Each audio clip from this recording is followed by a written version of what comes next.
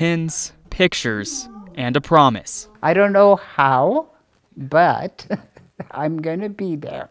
You know, my kids have a wheelchair.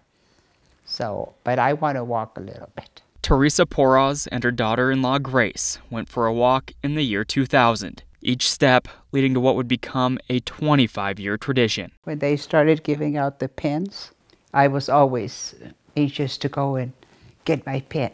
And then one time, my one of my uh, ex son in laws went to go pick up the package for me. And I said, Did you get my pen?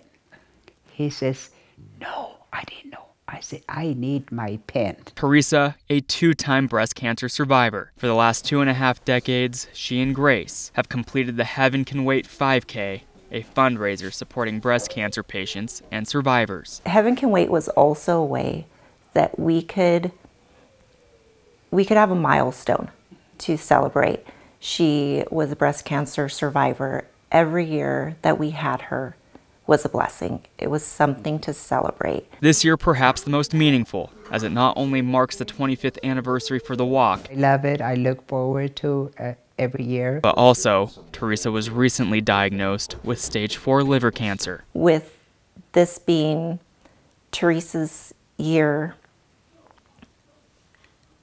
as far as participation that you know that we get to have her um,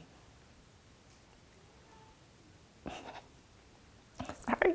No, no worries. It just holds special Holds special Despite being in hospice care, Teresa is holding the same attitude she had when she was first diagnosed with cancer nearly 30 years ago.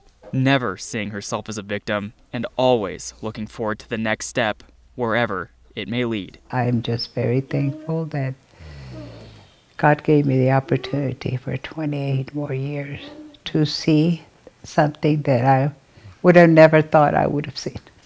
I'm so thankful for that. My grandkids are grown, young men. My granddaughter grow. God has a purpose for all of us. So my journey is not done.